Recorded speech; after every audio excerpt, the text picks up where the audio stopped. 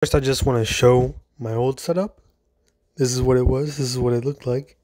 It was uh pretty, pretty bad.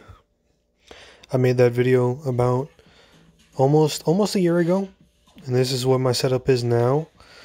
I got a, uh, I bought this desk on Amazon, and uh, you know, I want you guys to take a a guess on what my favorite video game series is based on my setup just look at my setup and guess what my favorite series is.